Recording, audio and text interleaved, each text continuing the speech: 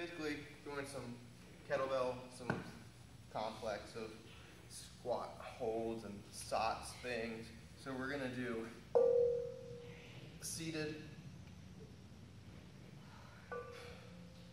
curls into alternating sots press.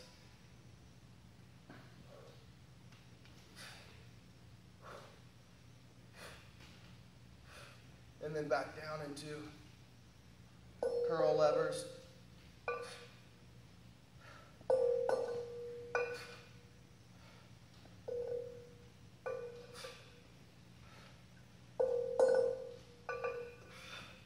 Into the sots press.